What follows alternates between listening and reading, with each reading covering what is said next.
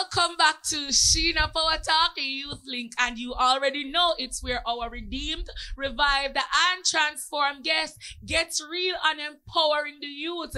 This is episode 10, and with me, my God, with me is who you asked for. You asked for her. You have gotten her. It's Minister Evangelist Moni, Trought. And listen to me, it now go down good today. Come, let me tell you something. Your soul will be edified. God will be glorified and Satan in a hell right now at trim because I'm terrified. Now, sister, I'm so happy to have you. Thank you so much for joining us back. I love you. It's good to see you, girl. Good to see you too. Thank you Oh, oh so much for having me. Oh Thank God. you so much for having me, sister. Welcome back again. Sis, I just want you to look into the camera one minute. Tell the viewing audience who Monique really is. Bless you, people of God. So, Monique is a woman that has been transformed, saved by God. You know, the Lord has dealt with me bountifully. The Lord has changed my life completely, changed my story, changed my character, changed my countenance, changed everything about me. And so, when I look at Monique today, I don't see the girl I used to be. I see a woman that is powered by God, empowered by the Holy Spirit of God, transformed by God, ready to do great work in the kingdom of God. God bless you. Hallelujah. That is so powerful, sister. You know, we already believe in the Bible, and the Bible is the foundation of truth. So, what is your favorite scripture and what it means to you? My favorite scripture is Matthew 6:33. Seek ye first the kingdom of God and his righteousness, and all things shall be added unto you. And why I love that scripture, because oftentimes as people, as a people, not even categorizing Christians, but as a people, we have aim, we have goal, we have things that we want to accomplish in life, we have things that we want because we have ambition, right?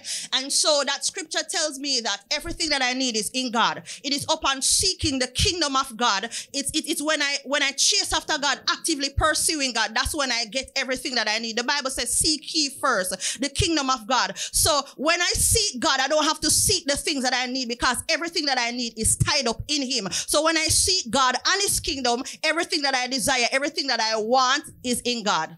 Amen. Hallelujah, hallelujah. Now, sister, we're going to touch on a very important topic, but before that, I know you have a very powerful testimony. And, Amen. and, and, and, and the thing is, I want y'all to understand this is not strangers coming together. This is my sister. Amen. This is someone Covenant that sister. knows me. This is someone that even when I was not saved, she got saved before me. I would go to her and I would say, I would inbox her and I'd say to her, please pray for me. I know I need to be changed, but I can't find myself to do it. And it's so good that she always had me in her prayer and we are coming far from so far from the same lifestyle. I sit here with no stranger. So as I know a little more about you, Moni, can you just tell the viewing audience your testimony? Get real with us. All right. So it's a journey, you know, people of God. But may I tell you, when the, when the songwriter say, a mighty long way, look where you brought me from, a mighty long way. It has been a journey. Um, at the age of eight, nine, thereabout, I was molested by a family friend, which is a female, and she did some stuff to me. And I remember distinctly while she was, you know, molesting me. I remember she said to me, I remember she kept saying to me, Don't tell nobody, you know, don't tell nobody about it, don't tell nobody about it. And of course, as I said before, it's a family friend, so it wasn't a stranger. Of course, then I'm a child, but I knew within myself that what she was doing was wrong. I couldn't understand why she was doing it to me, but I knew it was wrong. So, of course, I never said anything to anybody. Growing up, I found myself liking girls, not understanding why. Why am I stay so? Why am I with a friend them like boys and me like girls and me I admire girls and you know and all of that. And it just so happened that the same thing that she did to me, I then went on to do it with other girls, you know, friends that that that we go to school together and stuff like that. Until it got so bad. I mean, it wasn't a secret lifestyle anymore. It was something that coming up to the age of 16, 17, thereabout, I was, you know, very outgoing. I was bold with it. You know, I'm like, this is what it is because I've accepted it that a woman me love, me no love man, me no have no desire for man. And I could not understand why it wasn't until I got saved. The Lord told me that this was a seed that was planted. But before I got, before I get there, so I was living a lifestyle where I was in and out of the strip club. Me don't know which strip club at Jamaica me no go. I would work my money, work my money, and take my money and go to the strip club and I put in a woman panty. I'm telling you. And so I was in that lifestyle so deep to the point where th- that lifestyle is a very expensive lifestyle. I could I couldn't maintain it. And so what I had to do then was get a man you know, a sugar daddy, as they would say, a sugar daddy to fund the lifestyle because I could um, maintain it on my own. My little salary could have, you know, it, it just could take care of the, the, the, lifestyle that I wanted to live. And so I was with this old man. Um, I remember being age 19 thereabout. I met him at age 15, but we weren't involved until about age 19 thereabout. And he's a Jamaican, but he lived in Canada and he had a lot of money and stuff. And so he loved me so much. He just left me for just collect him rent and stuff like that. So I had access to a lot of things that that that that that brought me, you know, to meet a lot of people um in that community, the LGBT community. So I wouldn't go to straight party. Me no want a man, want, me just have the sugar daddy there. You know, we weren't having intercourse, but he was just there funding my lifestyle and stuff like that. And I remember stop dating you know, feminine girls and want to, you know, take it to another level, start talking to Butch, the one and we just like, man, come here, say a real relationship this now, live together and everything. But let me tell you something, the things that I used to do, sometimes it was just the other day I was in my house and I was thinking, I mean, I said, God, you really do a work in I mean, like, even if no one else believes, say, God can change them life. Me believe because I see where you camera from God. Like, my, my intentions, my motive was so messed up. I was so doubled in sin sin. I used the only thing I never do I take coke. Me used to drink liquor. Me used to smoke. I remember at one point in time because I was so in and out of the strip club, me never even have to pay for going. The people them know me so well. I remember meeting this man who was a drug dealer, and him say, "Since you have access to the strippers and stuff like that, I and give you some ecstasy to sell." I mean, I say, "Sell ecstasy." Man, I really want to get in at that, and I took them from the man. I took a, like a Ziploc bag full of ecstasy to sell to the strippers, and for some reason, I just couldn't do it. I just couldn't do it, and so you know, I was just deep in sin, doing threesome, orgies, everything you can think of. When you come on my house and look, you see homosexual, like, like the one of the LGBT community basically live at my house.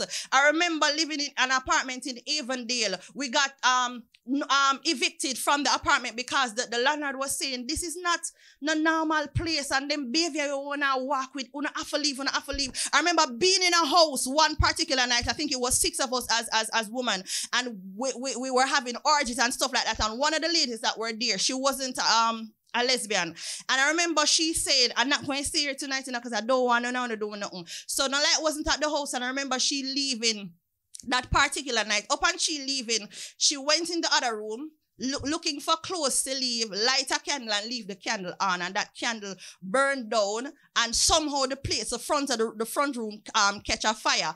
We were in the other room all the way to the back. I think it was five of us and a big king size bed. And one of the ladies woke up and said, The place are burned the place are burned down. Where look for the key, couldn't find a key for come up me. I tell her, said the wall of the room at the front of the room are burned out. The night before that, I remember about three weeks before that, I met a pastor man. He lived on the other street. And he stopped me one night and he said to me, Are you saved? And I said, No. Him say, I know you're not saved, but the Lord wants to save you. And you know, because of the upbringing that I had with my grandmother, you know, she she she taught me the ways of the Lord. So, you know, I was I was I wasn't far from God. I knew God. I, I knew how to pray and all of that, but I wasn't safe and I could not understand why I wanted to live a certain life, but I can't do it because a woman me want. What a desire they come from, I don't know. I just know say, you know, there's something on the inside of me is telling me to do this, to do this, and I could have helped myself. I could have helped myself. And so my grandmother taught me the ways of the Lord. So I knew God and I knew that He, you know, was able to change me. I just didn't know how. And so when the pastor said to me that the Lord wants to change you, the Lord wants to save your life, and he asked me where I was living, and I, he came there one particular evening and he said to me, I'm going to invite you to church. And he kept inviting me every Sunday. I said, I go and carry it. Him said, Cynthia, now come. Can I carry the church to you? And he came with a few of his members from church. And I remember the, it was a Friday night. We were all in the living room and he was praying for all of us, six of us there.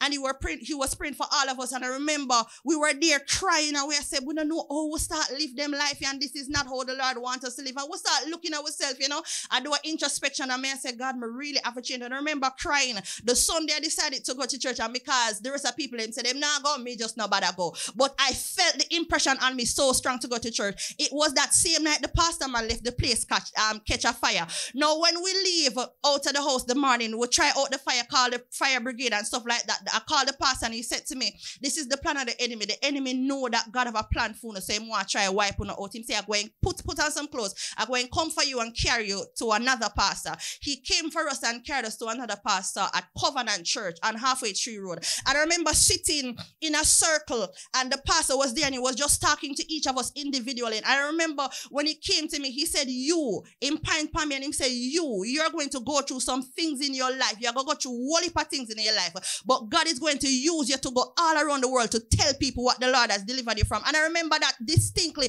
because me I say, when him say to me, me I say, I not understand why God would want to use me. I not understand why God would want to use me. People of God, I wasn't no ordinary sinner. So I don't want to no feel like to me sit down here. So I don't want to no feel like say I was an ordinary sinner. I was doing a lot of things. The girl molested me and I was then going on molesting other young girls. I was dating older woman, married woman. Me not talk about a normal something. Me I talk about having sex with a man and not him penetrating me, but me penetrating him. May I talk about deep perversion. May I talk about being in orgies and, and threesome and sixsome and all of them something. And no, no, normal thing.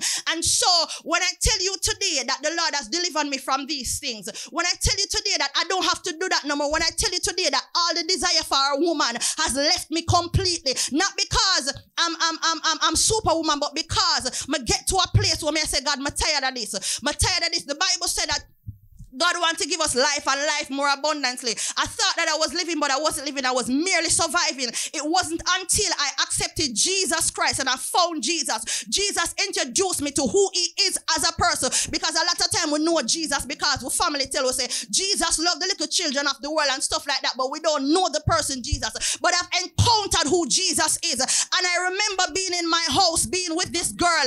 And I remember she, she and I were together for years and would always a fight me a serious serious fight.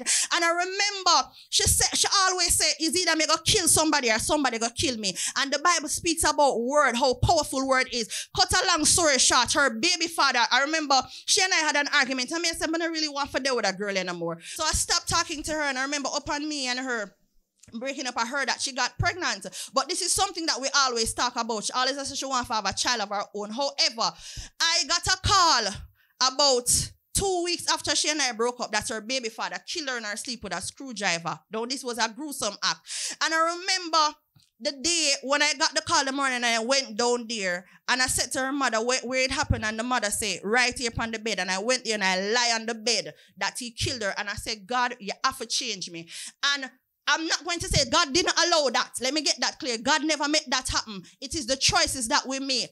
It is the choices that we make bring us past some road where Satan can trap we and do whatever he want. The Bible said the, the, the, the, the, devil come to kill, steal, and destroy. And so he destroyed this girl life. But God will use that situation.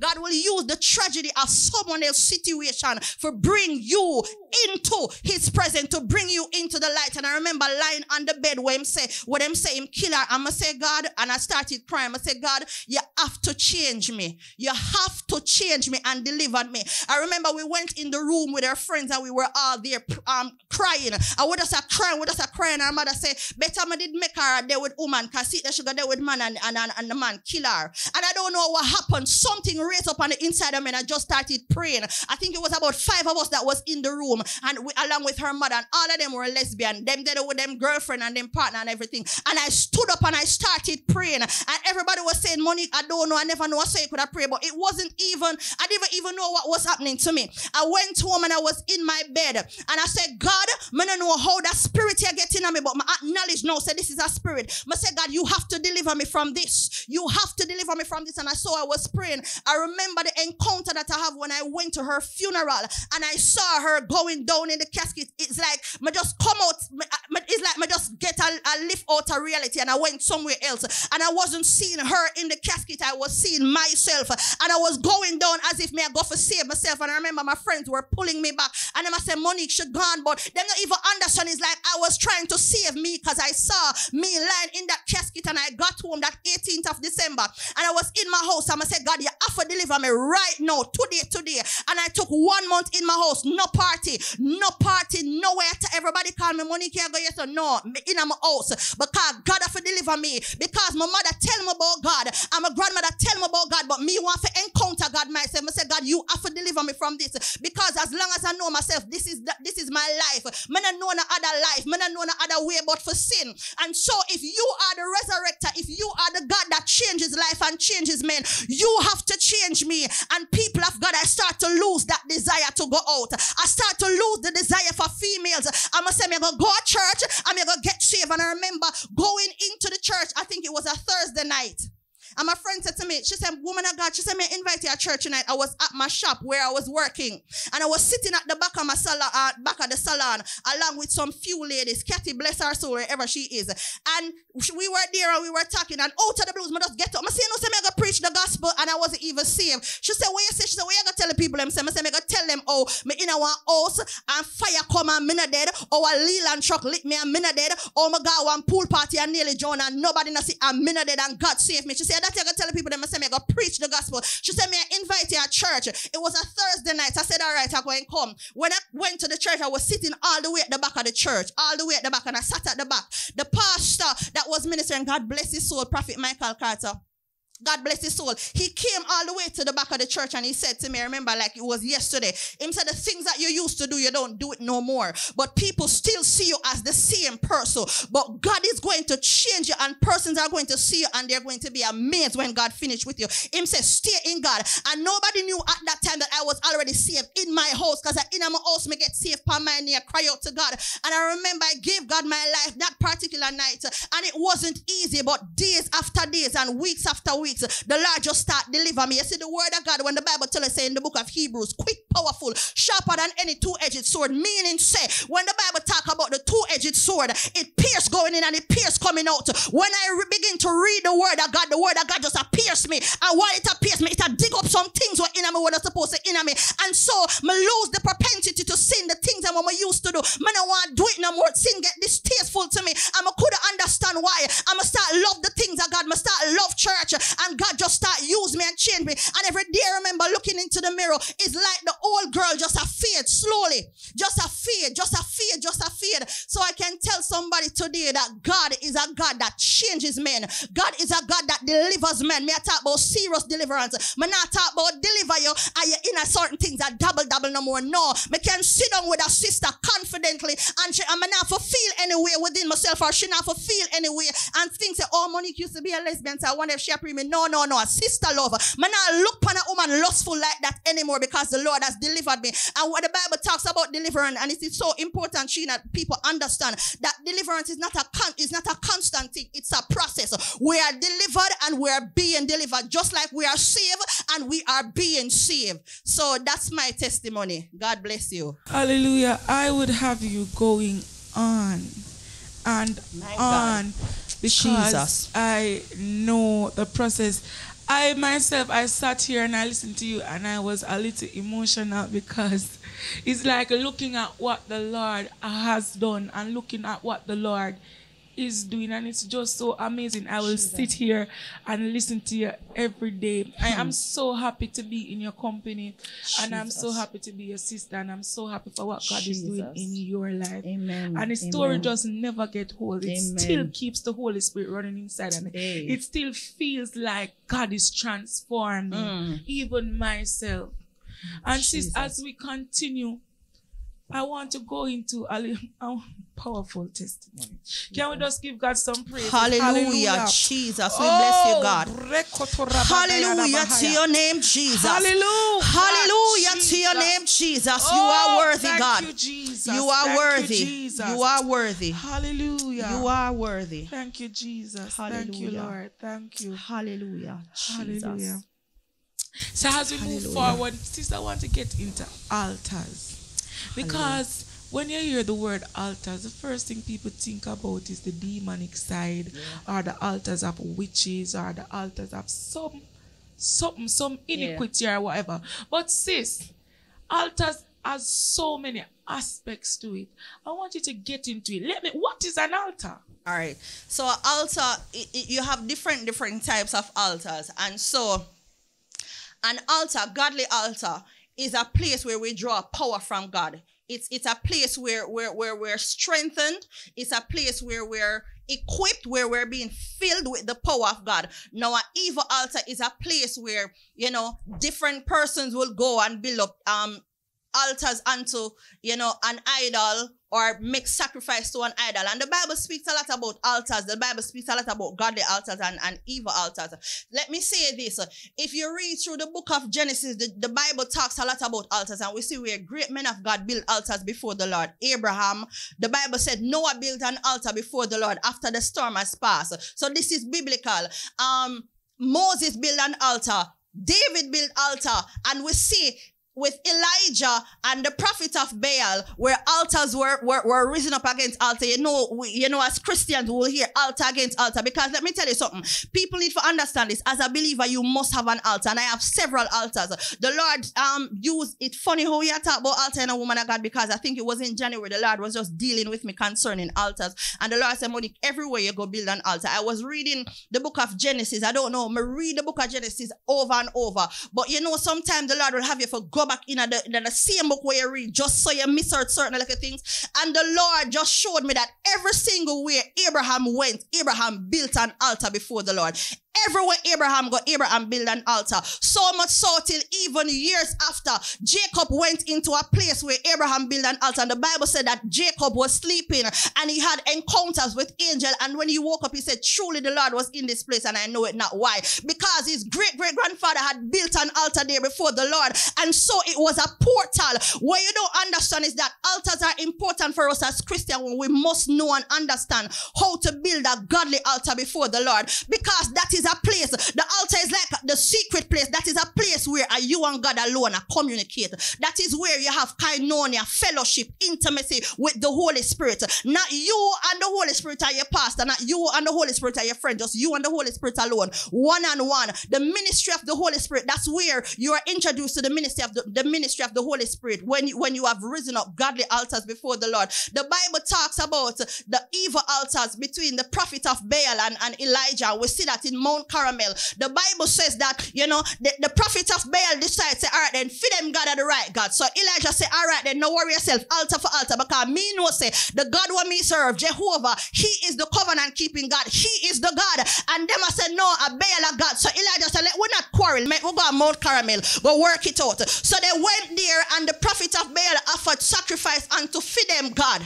Ah, mashiko robo sata. The Bible said when them a cry out to Baal, Baal not answer them because it's a dead God them a serve. The Bible said them cry out to Baal and Baal not answer them, cut themselves, them do all sort of things and Baal not answer. Elijah said, my time now. And the Bible will have it that Elijah did something that was what, would I consider foolish because we know say board cannot light with fire if it's wet. And the Bible talks about the water that Elijah poured on the board and him light the fire. And the Bible said that heaven received Elijah Elijah's uh, Elijah's sacrifice upon the altar. Why? It's not just because God wanted to demonstrate the power, but God knew that Elijah had a relationship with him. That even before the prophets of Baal, Elijah had a relationship with God. Elijah was a man of prayer, and so he was a man who had altars before prayer before that one. And so the Lord took up the sacrifice.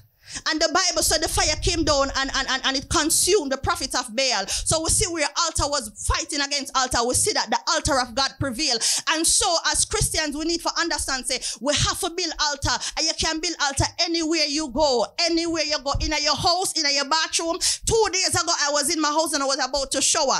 And I heard this song started playing and I just started crying out to God. And I was just thinking back on some things from out when I was out in the world. And I was just repenting and I know that the Lord has forgiven me. But you know, sometimes your mind go back on some things where you used to do. And you say, just in case the enemy want to use this against me. I say, God, it just come to me. I know I'm asking for forgiveness, but may I repent for this thing that I have done. And so I begin to repent and I begin to ask the Lord, I said, God, forgive me for this. You know, I've done it ignorantly because I didn't know what was what I was doing. But just in case the enemy would want to use that thing against me, because this is what the enemy does. And that is why you have to renounce the thing, the sins that you have committed it all when a long time. You have to continue. You have to continually renounce it because what the enemy will do when the Bible says the enemy is an accuser of the brethren, what that mean is that some things where you do long before, years, donkey years, when your time come for God, put you out there now, the enemy will come and say, listen, remember you do this and him start accuse you. So I had to just break all ties between you know the things that I have done in my past that will cause you know any any any any any hole or, or, any stronghold to be in my life. And I was in my bathroom and I sat there on the floor and I started crying out to God. And I started crying out to God. But I said God meet me here. This is the meeting place. I tell people all the time I say my altar is my meeting place. Church not start when I leave church. Church start when I am home in my house in a my secret place with God. I say God you have you have you have the ability to come anywhere. Move freely however you want to move and so when we when when when we learn to develop, you know, building altars before the Lord, we have to ensure the place clean. We have to ensure certain little things when for dead and not dead. We have to ensure say we make the place in such a set the atmosphere in such a way where the Holy Spirit can come. The Bible says, grieve not the Holy Spirit of God. We can't grieve the Holy Spirit, and sometimes we have some things in our house where cause the presence of God for not dwell where we're there. Because guess what? Some things we will have, we don't even understand the, the, what them represent. We don't even understand say, these these things are what is causing the enemy to have a foothold in our life. Some simple, simple little things. And so it is upon you building godly altars before the Lord and praying and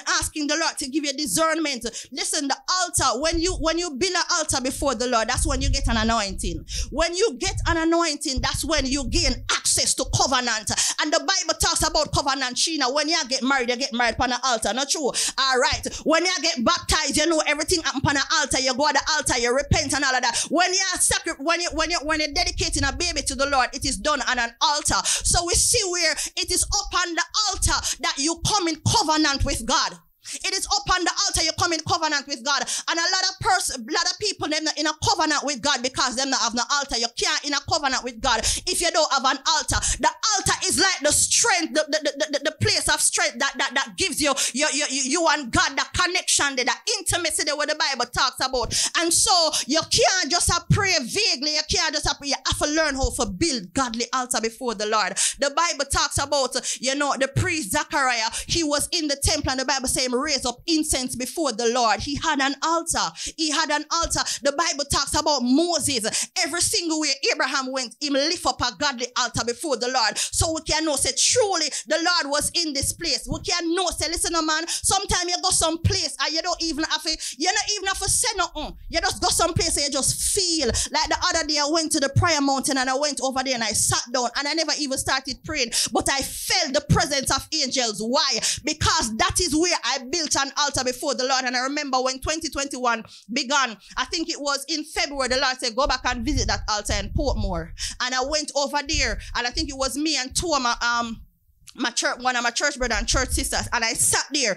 And the minute I sat there where I built the altar before the Lord, I felt the presence of angel. This is what people don't understand. Godly altar is a landing strip of angels. It opens a portal. When you build an altar before the Lord, it opens portals so angels can ascend and descend. So we need to get into that place where we learn to build godly altars before the Lord. You can go in a somebody's house. I'm tell Sheena all the time. I remember when I used to go by her house because she prayed so much in her living room. The the living room carried a present. Yeah, let me tell you something. When you pray at a particular place enough, it carry a aroma. You don't even have to tell people, but people can just come and say, no man, me feel a peace, yeah, so me feel, me feel something, something going yeah, so yeah, they, they might not, they might can't explain what is happening, but them know say something happen. So upon altars, you find that a lot of spiritual activities happen there. Up on an altar, David was a man who had a lot of altar. He built altars before the Lord, and the Bible tell you that David David was a man after God's own heart. And this is what, let me just go in a little bit more. The Bible said Abraham was a friend of God. The Bible said David was a man after God's own heart. And I could not understand why, when I read through the whole Bible, uh, Abraham was the only man that was called a friend of God. I mean, I say, but God, why? But you say David was a man after your own heart, and Moses served you well, and Elijah and all those other men of God. But why I think God called Abraham friend was because of the relationship that they had. God told Abraham, say, Abraham, listen, pack up and leave and me go send it in our land. Me go make a sojourn in our land where you don't know nothing about. That is faith. And Abraham went there and he obeyed God. He obeyed God. Everywhere God tell him for go, him go and everything God tell him for do him do it. And so even when Abraham asked the Lord for a child, God Abraham, God said to Abraham said to God said God listen my old me need a, me need a seed me need something of my own because Abraham obeyed God because Abraham had a track track record with God. Him have a track record in the spirit because him obeyed God. Him is a man after God's own heart. Just like David, everything God tell him to do, him do it. The Bible never say Abraham disobeyed God at any given time. And so Abraham is just a prime example that we too can become a friend of God if we walk in the statutes of God and do what God called for do. Though it's not always easy, but it can be done. It can be done. Whoa, this is so powerful. As I said, Monique, I'll just sit and listen to you all day because you're so equipped with the word. Amen. No, you I'm a keen listener. Y'all know that. and I heard she said there's no covenant where there's no altar. And I, lo- I you see, God is so intentional. We're we are speaking about altars right now because, as you mentioned, the altar in my living room. I remember me just stop, stop praying there. Get busy, get busy. With life. Work, life. Mhm. You know, my little own ministry. We just get busy. And I remember I was in my house alone. And I went there, and there is something before even I, I, I acknowledge that one moment. The fact that I went there, I always feel the presence of God. And I always wondered to myself, "Then why am I always feeling yes, So so? yeah. Why am I not feel it? There's, you know, at Yeah. different different intervals of the house, and getting so busy and and and, so, and and I'm happy that you even mentioned how important it is to build an altar. I remember I went back there and I felt the presence so strong, and the, the, the presence was so strong I couldn't move.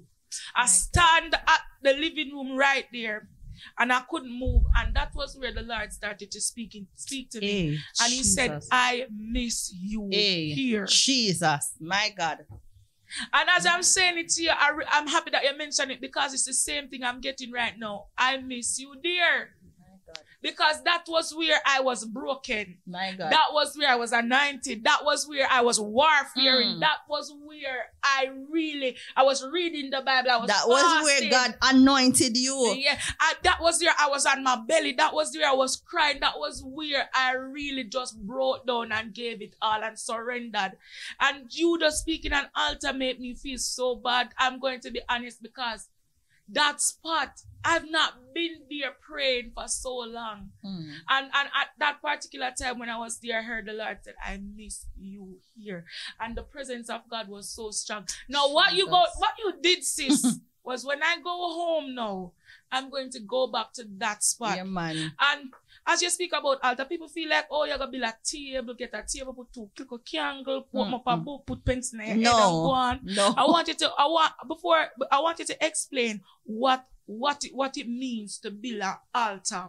But as we're speaking on that, I realize that every part where we pray, some is like it depends on the type of prayers, it depends on how often you go there. It it, it can be an altar. Yes. Because I remember Yes. at mornings when I when I'd go to work in the morning, I'd go in the studio and I'd read the Bible and then I say a prayer. I did that one week straight. I just start doing it. I just start doing it until you know we get busy. We'll probably reach work late and we just stop. But I remember going into the studio and I start stand at the same spot again, Moni, Mhm. and I felt the presence of God there. Because saying- you built you, you you you built an altar there. That's what you did. Yes, I would know that you're explaining to me. I'm saying that was that's an altar. No, because you know of how works change up now. I go into the bathroom and normally start praying in the bathroom. Now start praying in the bathroom. So every time I go in the bathroom, even if I don't go to prayer, Yes. I start feeling the presence and I'm like, God. So now I'm understanding that I am building altars. Altars. So people think it's like a table, two candle, four Mm-mm, coconut, some mm-mm, um grapefruit. mm-mm. Tell us, tell us. Anywhere, an altar is anywhere where you find a lot of, and a godly altar, I should say. Anywhere you find a lot of prayer, a lot of worship. It's just that, it's it's just a space. It's just a space where you say, you know, say, I'm me and God space. It's like my altar. As I said before, I have several altars. And I have an altar in my bedroom. I have two altars in my bedroom, but one space is where the Lord would uh, have me to change. And the Lord said, don't make nobody anybody come in house, don't make them come right here. So that part they me reserve, like what ladies are say, there's a room reserved in my house for the Lord. I'm gonna have a room reserved for God. I have a little space, but that's enough.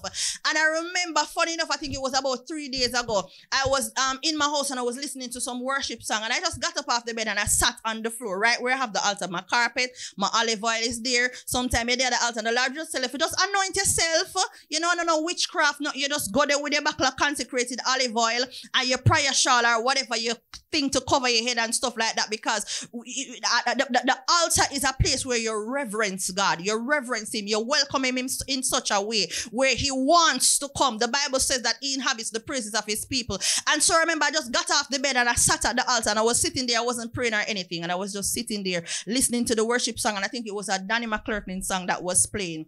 Um, I trust you, Lord. And the song was playing, and I was just saying, God, I trust you. I trust you. I wasn't praying. I was just thinking about everything that was happening. And I said, God, I trust you. And though I wasn't praying, it was almost as if me and God did have a conversation. All I kept saying is, God, I trust you. And the, the, the song was ministering to me. And then I started to remember back all of the promises of God. I said, God, I trust you. I believe you can do it. I trust you. And Sheena, I lie down there. I put the pillow and I lay there and I sleep there. When I checked my phone, it was about four o'clock. I'm say, me go get up and go up on the bed and something said, just stay here for the night. And so the Lord do something sometimes you don't even understand. To others, it may be foolish, but God know what He's doing. Sometimes God want you just lay down, prostrate to the altar. Sometimes God do some things in you where you're not you're not aware about until long after I will say, This is what I do. Because even that altar that I, I built to the Lord in Portmore, Sheena will build an altar there. You build an altar there took her. We go there a couple times and pray. And the Lord will say, Visit back that altar. And I visited that altar. And when I visited that altar, the Lord did something new. I went there the first week and it was just me and two persons. The second week it was about five of us. And the third week it was about 13 of us. And I remember the third week the Lord showed up in such a way. I literally saw an angel for the first time. I see an angel. And the presence of God came down. As I said, it's a landing strip for angel. The presence of the Lord came down so much. Persons were filled. People just start cry out to God. You felt the presence of God. Nobody never have to pump and I say pray. Nobody never have pump and say worship. Everybody was just offering praises and sacrifice unto the Lord. And so it is mandatory that we understand that, listen, you can't have a covenant with God if there's no altar. You can't have that bond with God if you don't have an altar. You will know a person based on the, seat, the, the, the, the, presence of God that they carry. People say, oh, I have the presence of God and whatever. Let me see your altar. Where your altar there where you build before the Lord. That time there where you just know, say, at that particular time, I just you and God. And as Sheena said, sometimes we get busy with the cares of world, the cares of this life, because it's true. It is the reality. And so when the Lord started to deal with me January concerning this, the Lord said to me, Moni, I want you to be diligent in every single thing that you do. You have to be diligent with work, with your finances, with ministry, with everything. Be diligent. And so the Lord was just dealing with me concerning this. And sometimes we tend to forget, you know, busy with everything that's the prayer time becomes less. The one hour we spend with god it gone down to 20 because we have to, listen we, we, we, can't be over spiritual we can't always spiritualize things. Where human being and there must be a balance. We have to be practical. Sometimes we really get caught up with things. It's not that we're not praying but that that that, that intimacy that we used to have with god where we would have laid down before god and just a cry and don't know why we're crying and the pain we feel. We're just there before him and I cry because guess what? There's things in us that he wants to get out. And it's up an altar. A lot of a lot of the deliverance that I have received is on my altar is on my altar because people fight devils that nobody knows about. People fight things where them where them afraid for tell people about. And so when you build an altar before God, you can tell him anything and you're not for be ashamed because to him nothing is hidden. So when you dip on your altar, you just start pour out your heart and your desires before the Lord. And you start tell God, say, God, you know, what, say, man, man, man, like how me I feel lately. I feel like jealousy coming in my heart. It is upon upon the altar that you have built before the Lord, where the Lord will show you is like a reflection, is like a mirror mirror. God will show you who you are and He will show you who He wants you to be. And then it is your duty and your responsibility to align yourself to the purposes of God. So altars is important for us to build altars before the Lord. I mean, the enemy I do it. People out there working incarnation and I do all sort of things and I build evil altars. I remember going to Hope Garden at a fasting service and we were there at the fasting service under a mango tree and we were all there praying. And a literal witch, a old woman came up and she was standing sitting and then underneath another tree and she was looking towards us. And the lady just uh, move her mouth. And I say all sort of things are speaking her, you know demonic tongues or whatever. And the pastor said, no, don't, don't, don't get distracted. Don't get distracted. Every single week the lady come. And I remember going there for about three executive week and the old lady come every week. Let me tell you something. Everywhere you go where you build an altar before God, try no say the enemy go come and try for come and do certain little things. And so when you go certain place, you know, just go and just start pray because you don't know what kind of activities go on on that part of ground. So when you go anywhere building altars before the Lord, you pray, you consecrate the ground and you tell God, say, God, I dedicate this to you. Everything, every evil activity that was done on this part of ground will render it null and void. And you then welcome the angel of the Lord, you know, so to just um fill the place with, with, with, with their atmosphere, and then the Holy Spirit will come in and just do whatever he wants to do. So yeah.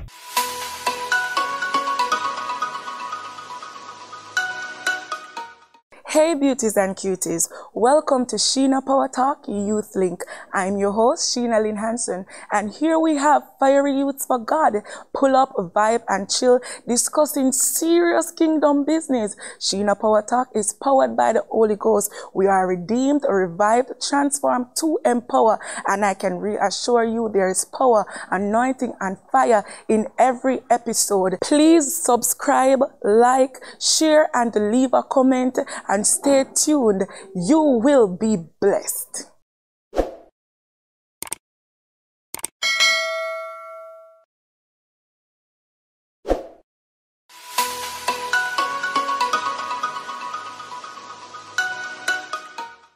Hallelujah, my sister. I said, oh my God, this is so powerful. And I hope you are listening. Since you mentioned about, we went to the mountain a few times. Yeah.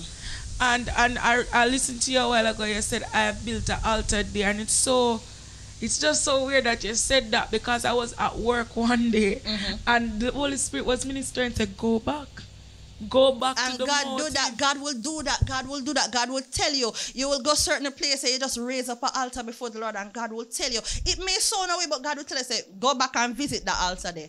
There's something that God wants to do. Go back and visit that altar. I don't remember who. I don't remember if it was Abraham. I don't remember who. I think it's in the book of Genesis. I think it was Abraham who built an altar before the Lord. And the Bible says he called that place Jehovah Shalom, the God of peace. A lot of the a lot of the names that we call God was was was was where a person built altar and see the provision of God. When Abraham carried Isaac to sacrifice Isaac upon an altar, the Bible said that you know the Lord provide for himself a sacrifice, and Abraham called that place Jehovah Jireh, where he saw the Lord's provide. So a lot of these places, a lot of these names that we have for the Lord, it is men of God who offered sacrifices unto the Lord upon altar. That's how they found out, you know, different characteristics about God. So it is important for us to build godly altars anywhere we go. God. And there was so much deliverance that take place while we were going to that altar, like while we were going to that, that mountain, yes. Because I remember when we even go in the, we normally go in the morning, and Early then when morning. I come back, I get dreams of, you know, the deliverance Yes. was real. That's it was, true, It was that's a real true, thing. that's true. Again, you mentioned something about covenant. Again, has to be made at the altar. And I remember um, me and my bishop was having a conversation, and I said, sir, no sex till marriage. Right. No this, no that. And he said, okay, you're going to come at church and you're going to make that covenant with God Right. at the altar. My so I God, know how important powerful. it is to make a Powerful, covenant at the powerful. altar. So I could tell him all what I'm saying and Right, okay, if right. you mean that, let's hear it right At at, the altar. And I remember I made that al- I made that covenant with God and it's something that you just cannot leave me. You so can't. even though things will come upon me and temptation, I have to I remember that thing. The, me and God And it's not thing. even you, you know, it's not even you, your own ability, you know, at the covenant where you have with God, God Yes. will restrain you. So even if you want to step out and do it, God knows him in a covenant with you. So it is his responsibility to keep you from doing that thing. No but understand what's going on because not many a time I even find myself almost got raped. My God. And I realized It that could happen. It could have happen Because you're in a covenant with God. I was at the place that it, that it was possible, Monique, and out of nowhere, some uh, somebody came. Out of nowhere, police just came, and I realized that this covenant I can it, it's not about me and I cannot do Jesus. anything beyond that or uh, to, to stop the covenant My or to God. cut cut it. I have to keep my end of the bargain, but God is helping me. Helping because you. many times I've come into places of temptation and it just couldn't happen. It's like an Can't angel or something just block covenant, it. covenant, And- covenant, is covenant. At the covenant, God is so the good. covenant, and God God, so build the covenant with you. I, I remember I was talking to somebody the other day and I was like, then, because them always say, you're pretty, you're nice, you get a nice, nice husband. And I say, nice, I'm a pretty, I'm nice, and I be a crabby, crabby man, I, I find me. Come like, no. And, and the person said, God is, uh, don't worry yourself. When the right person come, Come, you, you will know, because. God is going to, you will feel like you're ugly or something do you, but God just block you because him not send a God have you distraction upon your way. reserve. Right. God So have you on reserve, woman of God. so I understand oh no, I'm really want for going and talking about covenant. But before we go into that, I listened to your Keely and you said there are things that can be in our houses that can that will not allow the presence of God to dwell. And I remember I had portraits, some portraits of Jesus in my house. And Oh my. the, the, the- well the, the Jesus that they put in Give our to heads. us, right. And I have the portrait, and for so long, I've been hearing it in my spirit. Take those down, but may I say, not, I couldn't go to say that because Yeah. of Jesus. This I Mhm, say and not mhm, Jesus. Me I promote, so I couldn't go to say that. And for so long, I've been hearing that, and but never ever like give heed to it until the other day, I heard it clearly. Take them down, and.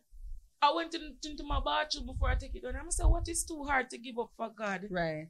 and I took them down and I gave them away. Don't you don't literally come on my house, but I have offered somebody them. So it's really true. It Mhm. doesn't matter what it Mhm. looks like. You have to Mhm. be very careful because you don't know what it really represents. You don't know what it represents and what, what they behind it. You see, people we need to understand that the enemy is very cunning, you know, and Satan uses a lot of things, but we don't even what the things say him would I use. You understand? And so he will use image, he will use just some simple little things where we have some certain type of and the Lord that deal with me with this woman of God, certain jewelry, certain certain colored hair, certain little things, some basic things, even some very clothes we wear the Holy Spirit will say, not that, not that. I wanna even understand. We say, but I just clothes, we not understand. But Oh, guess what?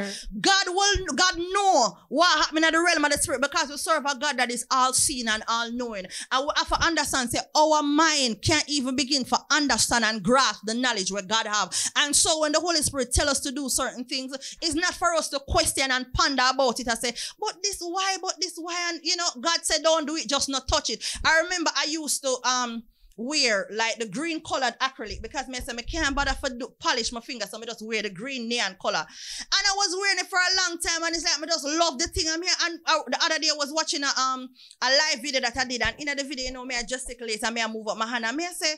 That look how we, oh, that looks so, and that's something me love. And I remember when I went the day, me say me go, I had a wedding to attend, and me say me go do my nails, and I said to the girl, just take off them color something, yeah, man, because me don't know why, but it's like God just just impress it upon my heart. Say, me don't like this. You like it, but I don't like it. Stop doing it. So the Lord will just start use certain things for teacher. You find say when you start shred certain little things and you start obey God, you find say things start flow. You find say things start flow. You find say it is not hard for you to connect with God. Sometimes you're in your house and because of some things where you have some figurine, some statue, some little picture and some little portrait you have in your house. Whenever pray is like you can't pray because what? The forces sit upon my God. The spirit of darkness sit upon these things. So it is hard for the spirit of God to even try to come because guess what? The Bible says the spirit of God don't dwell with darkness there.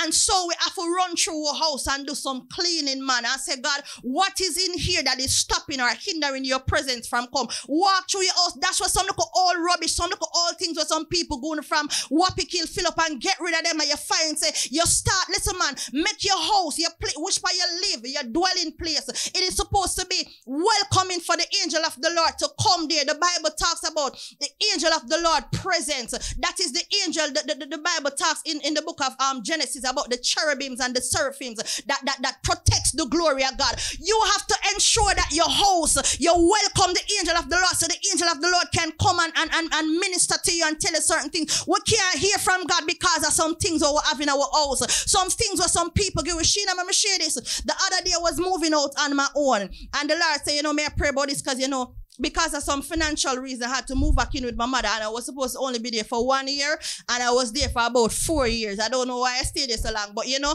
God said, "All right, then this is time now." And I remember when I wanted to leave, the Lord was telling me long before I change my bed. I had not slept on my bed for nine months, but the bed was still in my house, but I was sleeping on my sister bed. When I got the place to move, the Lord said, Don't carry the bed. May I say, but God, then when me gonna sleep on, I'm gonna have no money right now for buying a bed. I remember my birthday was coming up and I said, God, this is what I want for my birthday. I just want to get a place before my birthday and move out. That is what I want for myself. Now I was planning, say me go go up on the, the, the North Coast, go relax and enjoy. I'm like a self, so me a safe towards that. So me I said, God, this is what I want you to do for me for my birthday. Little did I know that the splurge never gonna go on God I said that now gonna happen right now. No unnecessary spending. That money that I was saving was the money that I used to pay for the rent and deposit to move going to the place. When I was supposed to move going that place, man, I God, I did not have a bed and the Lord said, Don't carry the bed. I remember talking to one of my friends and she said, Moni, maybe you can carry the bed base and the bed head, but don't carry the mattress. When I got off the phone, the Lord said,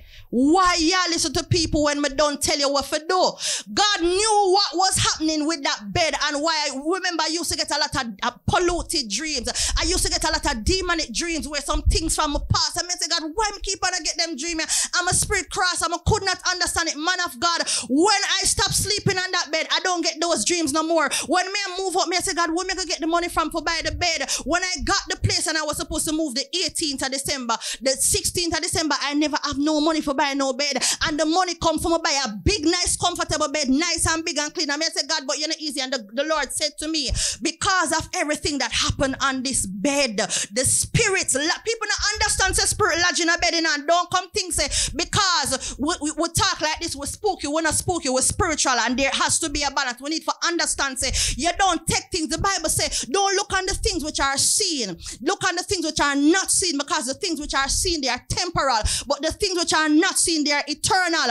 And I could understand that scripture. I understand so certain little things will play off as nothing. Listen, man, we live in a real world, and the spiritual realm is very real. If God could have opened my eye we we see all of the things and where take place in the atmosphere, may I tell you, nobody would be holy like we. But we have to trust God and do what God tell us to do. When I got that, when I stopped sleeping on that bed and I got a new bed, my find so when I when I moved there and I and I um dedicate the bed to the Lord, I'm say, God, no unholy activity now go go on. Yes, sir.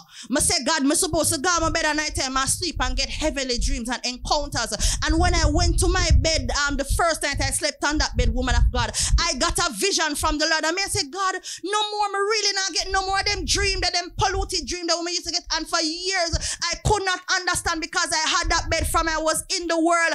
And God would have remind me of everything what happened on the bed. The amount of people, what not even me, but other person will make sleep on my bed and do certain things on my bed. And the Lord say, get rid of that. But it wasn't even just the bed. God tell me to get rid of everything when I move in that house. I never, only thing I move with my, is my fridge and my TV. And God give me everything new. And I could not understand it. But guess what? Certain things what we hold on to, we think have sentimental values. Because me say, you know, the little big man I'm used to talk to give me the money for buy it and stuff like that. I say I have them for years. And you, it, it, it, you're attached to it. You don't want to let it go. But sometimes we have to let go the old so God can give with new. And it gives up, gives us a peace of mind. It gives us peace because I never know someone could have sleep on my bed at night time and sleep so peaceful and have angelic encounters and visitation from the Lord. I remember I went to my bed and I saw the coming of Jesus Christ. I mean, I said, but God, all of them suck me. Uh, you mean for tell me, say, I just the fact say, my dad sleep on the bed and the things them were attached to the bed here. I cause my fear of them,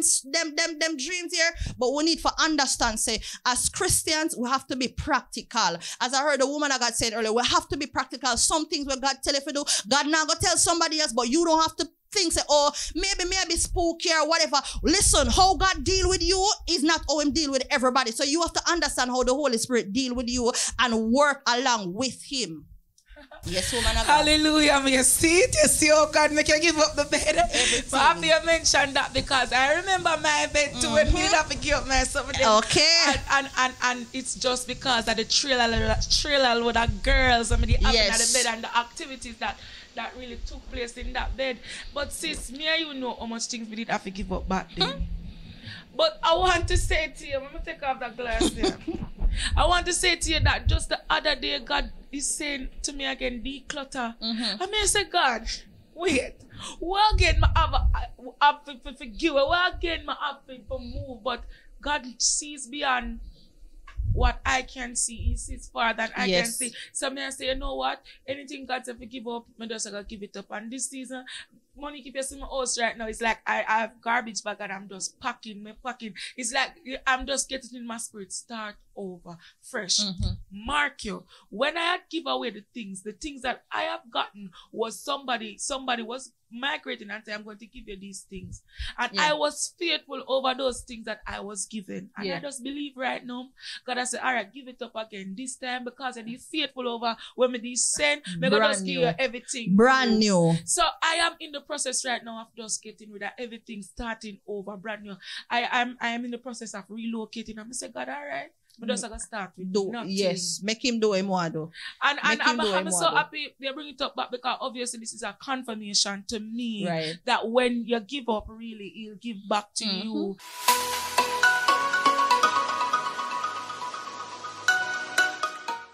Hey beauties and cuties, welcome to Sheena Power Talk Youth Link. I'm your host, Sheena Lynn Hanson, and here we have Fiery Youths for God. Pull up, vibe, and chill, discussing serious kingdom business. Sheena Power Talk is powered by the Holy Ghost. We are redeemed, revived, transformed to empower, and I can reassure you there is power, anointing, and fire in every episode. Please subscribe, like, share, and leave a comment and stay tuned. You will be blessed.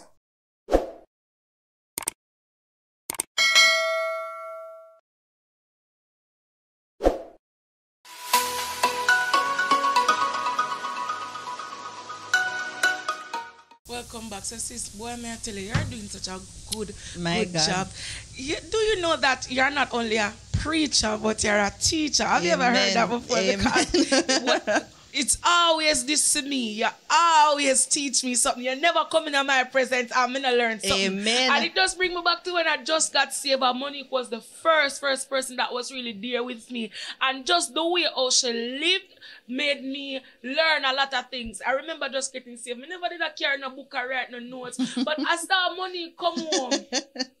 And she had her little book and she take her notes and I say, all right, man, I get a little book and I'm taking notes. So, so you have to understand people, this is the life you're living on Yeah. that people look at and, and there was just so many things that I could learn from. And when she speak, I remember in when I just got saved as well, she was there and she was saying, you know that Satan up in heaven and him go up in heaven and him go make him go like him go tell God say, what she now? You see Yeah. what she had to rate it.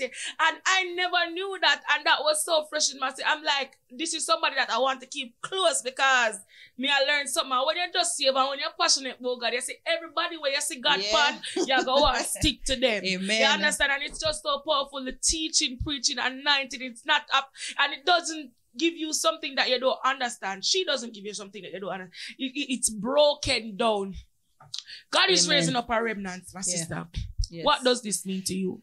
In the, the Bible says in the book of Joel that God is going to pour out his spirit upon all flesh and and and, and it- the Bible talks about you know the sons and daughters shall prophesy and young man shall dream dreams and old man shall see vision. Now what it means to me is that God is doing something in every culture in every um country in every denomination. God is raising up a remnant everywhere. You remember when Elijah ran away from from from Jezebel and he said that Elijah said that to the Lord said, listen God you know everybody bow them knee to Baal, Baal and me alone there. God said no Elijah I have 7,000 prophets who no bow them knees to Baal. So every single culture, every single denomination, every single country, God is raising up a remnant. The, the, the, the, end time warriors, as I would call them, the set of people who sold out for God, a set of people who make up in their mindset, come what me, them are gonna do the will of God. It no matter what it gonna cost them, it no matter if it hurt them flesh, it no matter what persons want to say, they're going to live for God and they're going to go the all way. We are not the Moses generation, we are the Joshua generation. The Bible said the Joshua I feel the Holy Spirit of God. The Bible said the Joshua generation, they believed God. And so they were the one who entered in the promised land. Was it the Moses generation, it wasn't the ones who left Egypt with, with, with Moses because they doubted God. And so because they never believe what God say, them a go round and round in a circle, still them dead off in the wilderness. They never make it to the promised land. But the Joshua generations were the one who made it into the promised land. And so God is raising up a Joshua generation, a set of people who believe God. And let me tell you something about the remnant who God to raise up. Them don't look Christian. Them in a big hat and long skirt down here so and them now so who don't know. Gotta raise up some set of people where, where, where, where to the masses where God, them are gonna say, but she not look like a woman of God. He not look like a man of God. But God introduced you to the kingdom. Say it's not about how you look, but the kingdom is within. Because God placed the kingdom. When the Bible says, "Thy kingdom come," that is what the remnant is about to do. The, the remnant is about to avail themselves so the kingdom of God can come within them. The kingdom now go open and come out of the sky. The kingdom of God is within us, and so we don't need to look like and fit the status quo to become the remnant. We are the remnant because we avail ourselves. We are the remnant because because we choose to believe what God say over what man say. We are the remnant because we make up in our mind say, listen, God, we understand and know say there's no other way but you. And so with everything that we're facing and going through, we choose to walk with you just the same. So that is what God is doing. God is raising up a remnant. God raise up some set of people from out of some different, different denomination. Listen, let me tell you something. I don't like religion. but just think it's a way to just divide people. And so it doesn't matter if you're apostolic, if it doesn't matter if you're Pentecostal, it doesn't matter if you're an Anglican or a Methodist. From your love Jesus and your belief that Jesus Christ is Lord, me you can be friend, me you can part. From your belief that God is able to do anything. Let me tell you something. God is taking me to a place nowhere. I'm not doubt him no more. I'm a thank God for these two weeks that I've been home because the Lord really had deal with me. The God, God really had deal with some matters, some issues the soul. Some things where as Christians we, we try to cover up, we not deal with, we go to church and we clap and we speak in tongues and all of that. But God I deal with it in depth and this is what the Lord has been saying to me.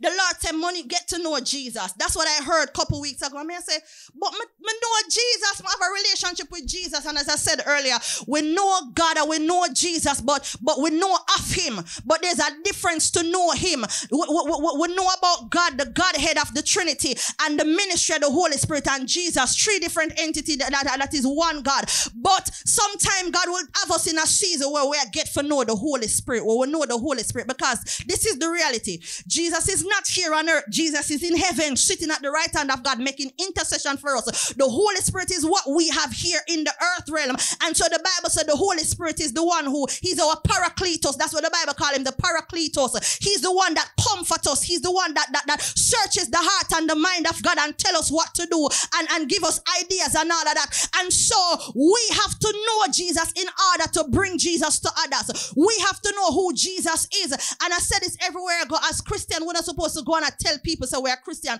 Your lifestyle is supposed to be a epistle I can look on and read. Man, I need to look on Sheena for Sheena tell me so she's a Christian. I'm supposed to see the fruit of the Spirit evident in her life. She's supposed to bear the fruit of the Spirit, the characteristics of God. I'm supposed to see humility. I'm supposed to see love. I'm supposed to see kindness and forgiveness and all of these things, these character that Jesus um Jesus had when he walked on the earth. And so God is raising up a remnant who is going to carry Jesus, to carry who Jesus is as a person when he walked on the earth. It don't look like the normal people. It don't look like the normal Christian them. We're full of power. We're full of Holy Ghost. We know when we open our mouth and say certain things, we're not speaking words vaguely because we have a mouth. We are speaking the word. I tell people all the time, say, don't me look simple. When you see me and me alone, I walk me and walk with an army because there's a force that backs me. So when I sit to somebody, say, I say, God bless you. Me not just say, God bless you because I have a mouth for say it. May I say about the force force where they behind me. I go ensure say you are blessed. And that is what God is doing in the earth realm.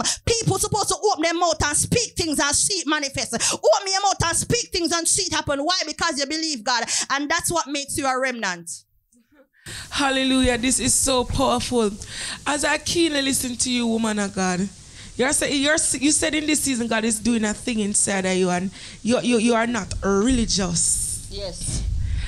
The other day, I was say, I've been seeing so many things going on. Mm-hmm. So many things that as a young believer, I'm like, no. If if if this is the Jesus I read about, this is not the blueprint and mm. the lifestyle that Jesus mm. lived. Mm. And I said to God, Mr. God, Me I tell you the exact conversation, man. I say, God, me love you. You know, say me love you. Me love Jesus and me love Holy Ghost. Me love the word. Me love anything. But me say, God, I don't want to be religious. My God. I don't want to be imprisoned in a religion where Yes. it's division. Yes. Because what I'm seeing in religion right now is division. Mhm. And I'm saying, God, and I said this over and over again. Me know God get it, but me just a state come on, God understand it. Mhm. Me say, God, me not religious, me not in this religion Yes. thing. Me, what is important to me is the relationship. Amen. me say, Amen. God, my, my, relationship is more important to me more than Anything else. Amen. it's not about the Christian. It's not about going to church. It's not about the life where nobody else I live, but my relationship. That is what is important. So when you said that, I'm saying God is doing something, you know. You see, the people that is called in this season is doing something because that's the same thing I was saying. Yes. I am not into this religious thing. I am more relationship. I don't want to be divided. And I keep saying I don't want to be like everybody else. Me no want me, the characteristics that I'm seeing that is not godly is not for me to judge, but, But- it's for me to be a better version A- of Amen. me. Amen. Amen. Amen. So it's, Amen. uh, it's not that I'm standoff. It's not that I'm acting anyway. It's just that I'm not gonna get my spirit mixed Amen. up, and I'm not gonna get my anointed tainted by people that doesn't want to love God and exactly fear God. exactly exactly Go and as i said god had, god had deal with me that god i mean i haven't been i normally go live because the lord laid my heart you know just go and teach the people. But with everything when me say me go up on facebook the other day and i was just so disturbing on my spirit I say god and God a deal with me. God a deal with me. As Come him a show me, him a deal with me. Come and on. so my always tell people, say the word hit the messenger before it hit the persons who are supposed to hear it. And the Lord was just saying to me that that that people now in the body of Christ seeks glorification rather than giving glory to God. I'm gonna say, God, what you mean? People want to come to God now because it, it when you when we were younger, it wasn't like how it used to be, where you find say a lot of old people that serve God. No, it's a different thing, different era in a way. God has raised up some young people, some babe. What the Bible says, out of the mouth of um babe and suckling, the Lord has ordained praise. So God do a new thing in a in a in, a- in a the earth realm right now. But persons are using. I'm a feel strong. I want to talk. Look to me, listen to me, woman of God. Give me five minutes. Persons are using the kingdom of God as a way for for, for, for gain popularity for themselves. Persons are use God and the things of God for gain popularity, for gain fame, for gain attraction, and not glorifying God. I remember I was watching a live on, on Facebook the other day, and the Lord was just speaking to me about the person, and, and I could not understand it because me I say, God, I'm not a person who judge, I'm not judgmental. But when the Bible say you need to try the spirit, the Bible tells us to try all spirit. Now just see everybody and say Jesus Christ is Lord and believe that. You have to try the spirit because let me tell you something. The Bible said the, the, the, the, the, the devil will appear as the angel of light. So every spirit I say me, I try the spirit. Me now look upon you, the person. Me I look upon the spirit where they behind you. And the Lord was just saying, this person has lost their way. And me I say, my God. And it's a powerful, powerful, powerful. The person powerful. And I was just looking at it and the, and, and the Lord was just started to just speak to me and say,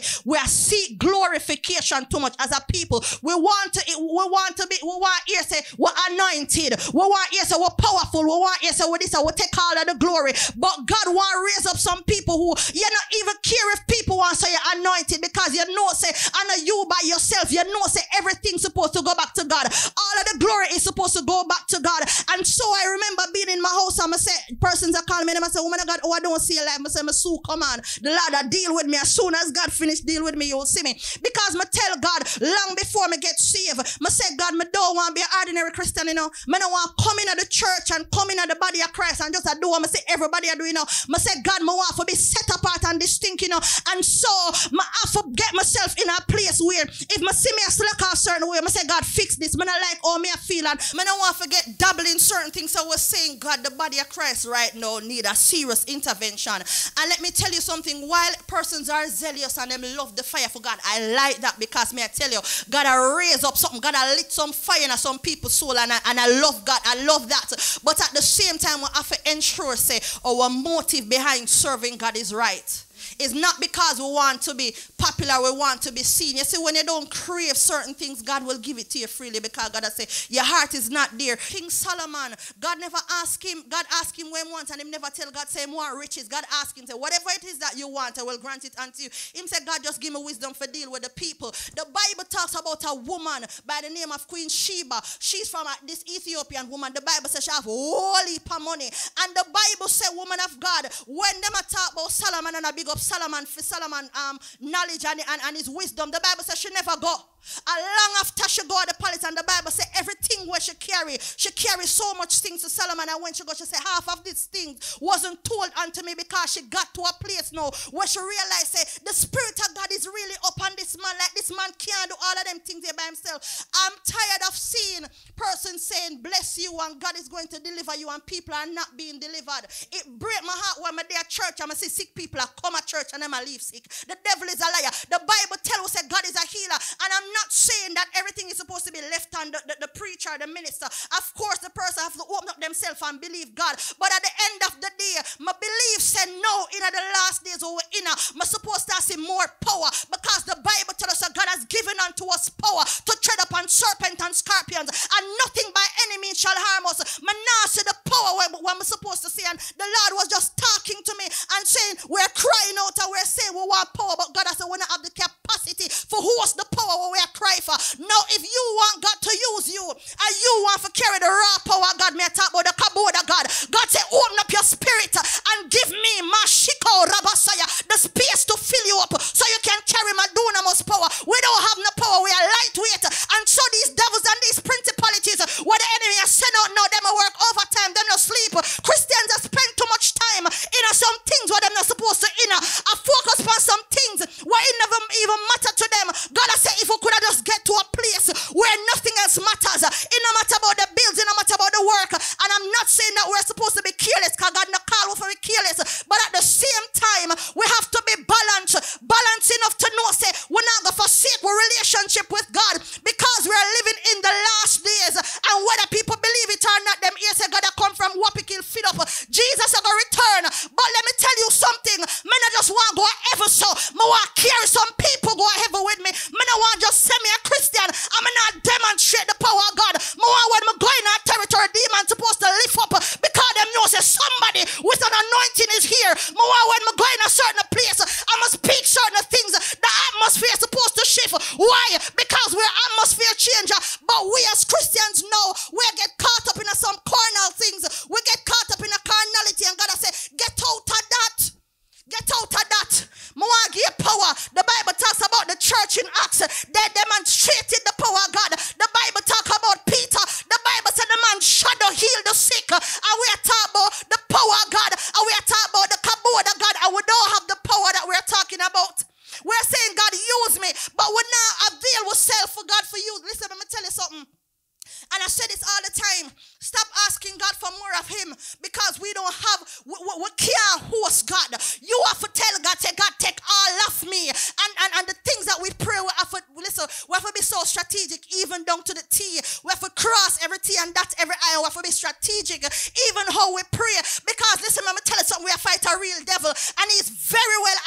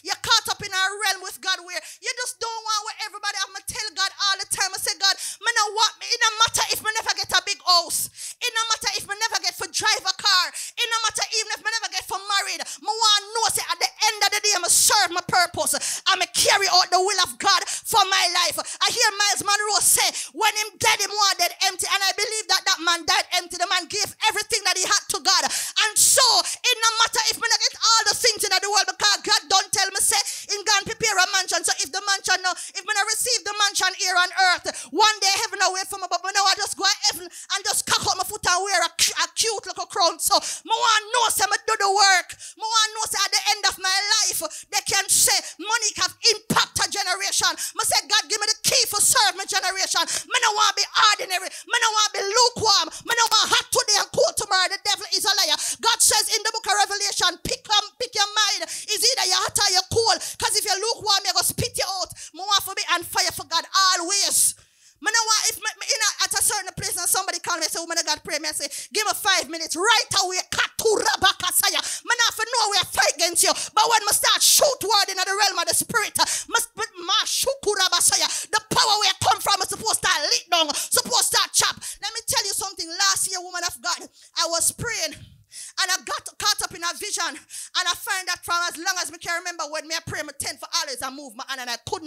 not understand it. And I got a vision sometime last year.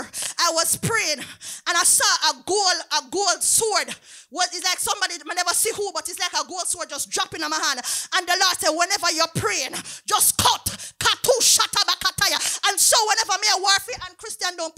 no warfare we don't pray anymore we have our devotions with god and we pray we offer you know we worship unto god but we warfare because this is a real war and we're fighting a real devil and we have to have real power to conquer the real devil where we are fighting. So God said to me, say, whenever you're fighting, whatever your warfare, use the sword that they have given. And the Bible talks about the armor of God, the sword of the spirit, which is the word of God that cut to sunder both soul, spirit, and marrow. And so we have to be equipped. We have to be equipped.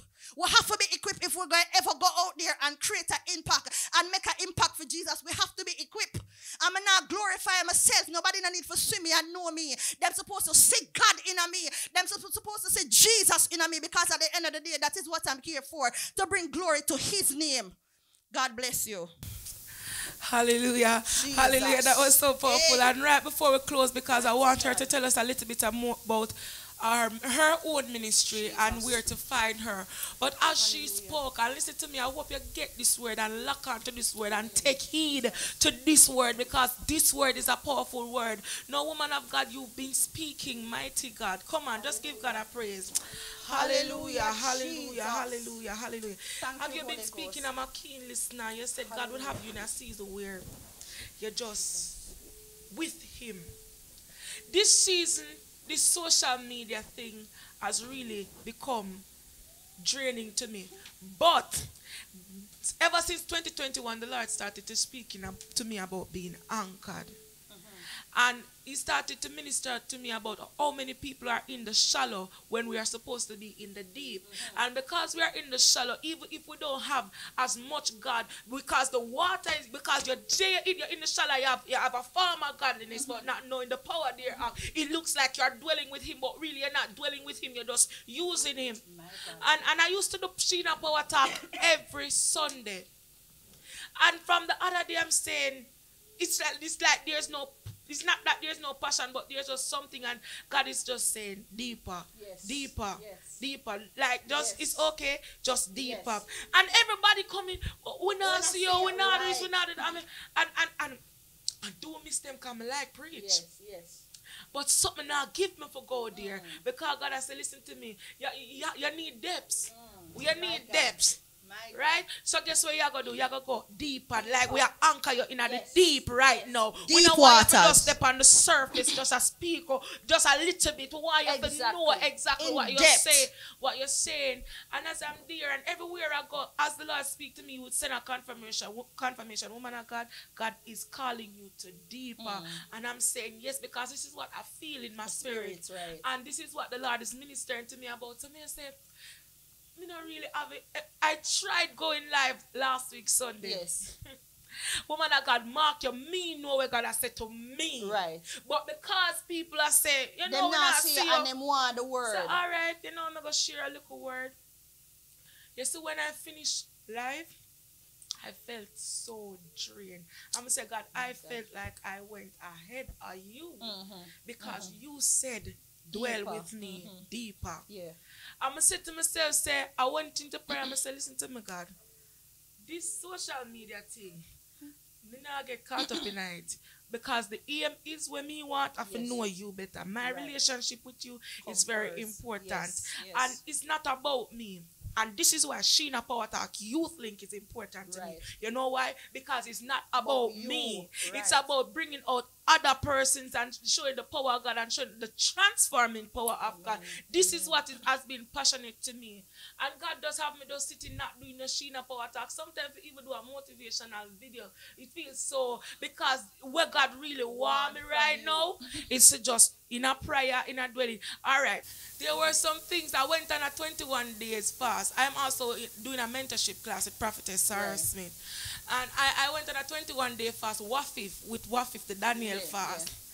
And, and I did it last year, but this year was so much more better because I don't know, but you know, every time you do something, you, you get better More, at right. it.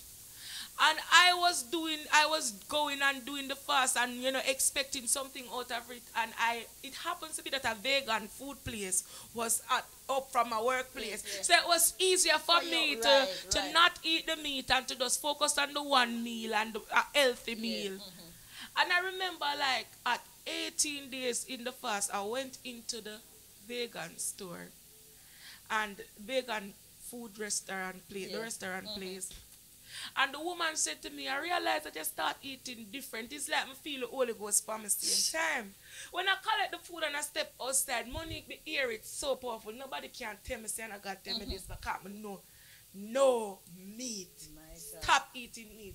I'm gonna say no. Me I tell you when me I walk Yeah, and I talk yeah. to myself. Me I say God, you're not because I always say I want to give up something at the mm-hmm. beginning of For a year. right, Not right. not not for late, but for the beginning of, the, the of a new year. The Okay. last 2020 I gave up pork. Right, right. and and and and and, and and and in 2020 I gave up burger because me remember God put me in my living room and sit down that same place eh, and me see a big X pan Burger King.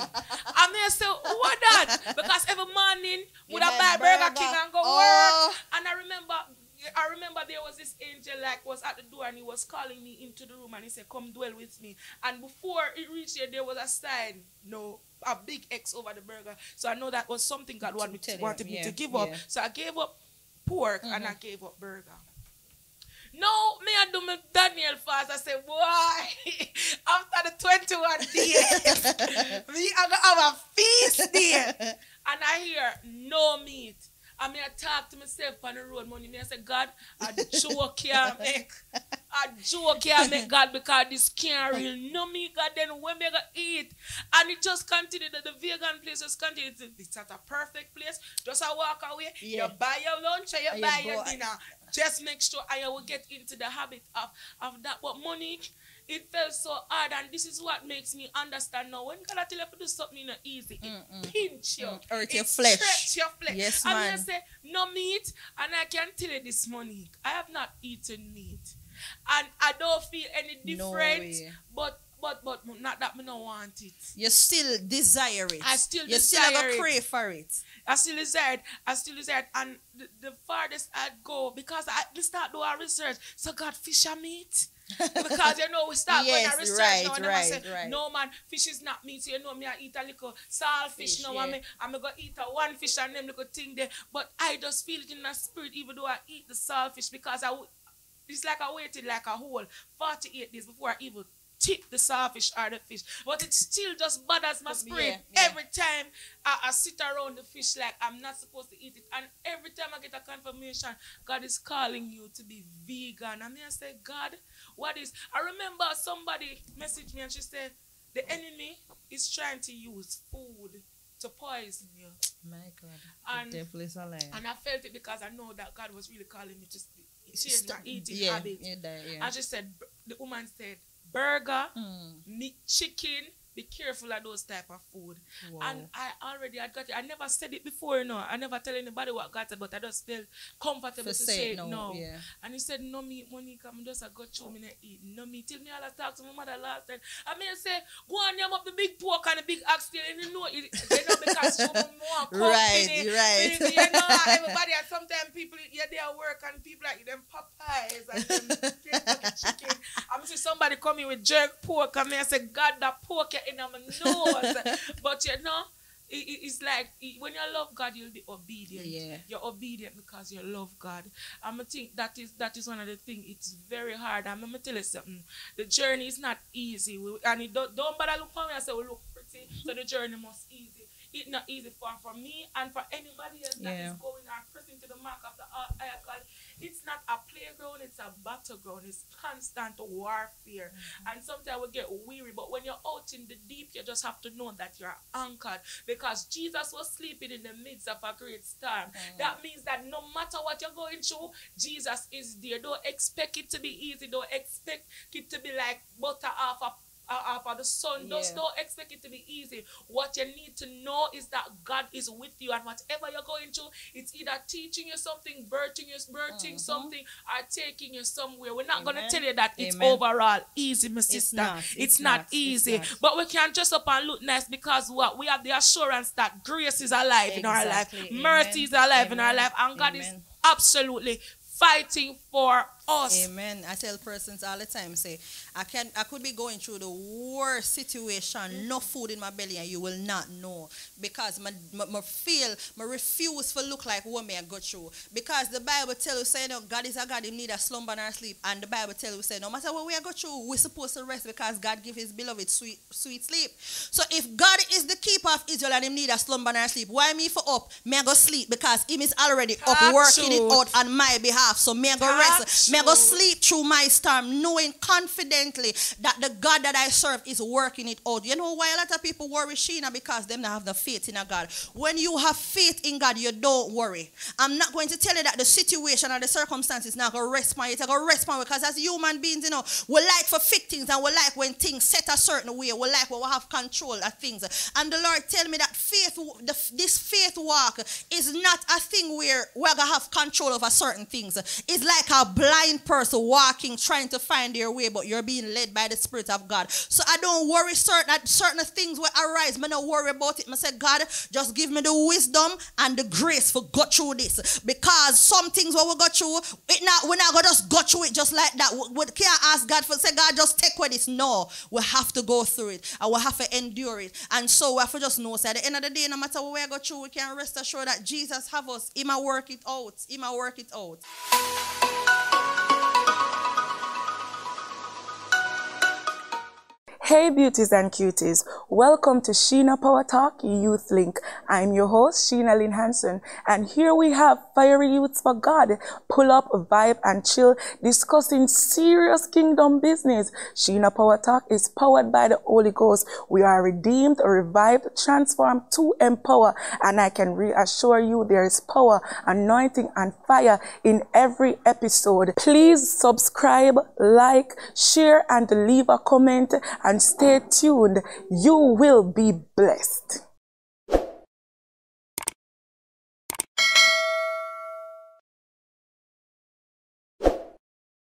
Hi guys, I think I want to say a big shout out to Humble Boss Production. And I want each and everybody on my YouTube channel or anywhere on my social media platforms to just go over to his YouTube channel, Humble Boss Production, and just press the subscribe button. Listen to me, he's the humblest person I've ever gotten the chance to work with. And not only is he humble, but he does great work. All my work is done by Humble Boss Production. I am happy to endorse this move. I am happy to endorse Humble Boss Production. Please subscribe to his channel right now. Stop what you're doing and subscribe to Humble Boss Production. And with Humble Boss, the best is yet to come. And the best is yet to come.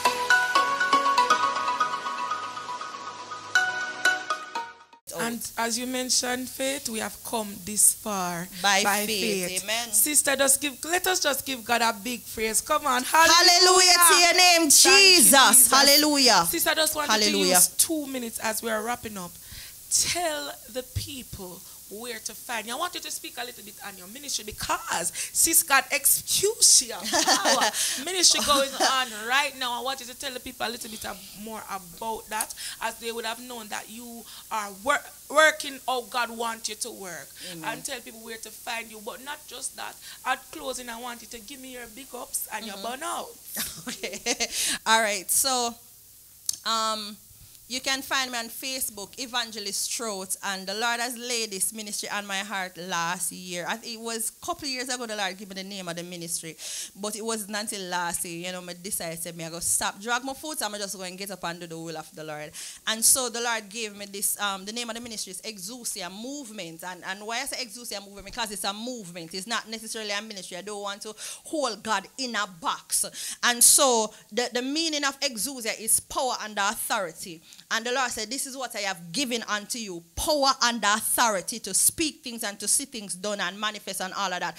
And so it's where I just go on Facebook and, and just teach the word of God, just sit down and teach the word of God. As Sheena said, People say you're a preacher, but I like to consider myself as a teacher. I like to teach the word, and I ask the Lord to give me a grace in such a way to break it down so people can understand. Because oftentimes people are minister the word and them come with so much, you know, metaphors and so much um, theology and all of that. So they might preach over the people them and the people them now understand. Mama said, God give me such an anointing and such a grace in such a way that whenever I minister the word, the old, the educated, the, the, the, the persons who are who, who not so educated can understand what me I say. Give me the grace to reach all man.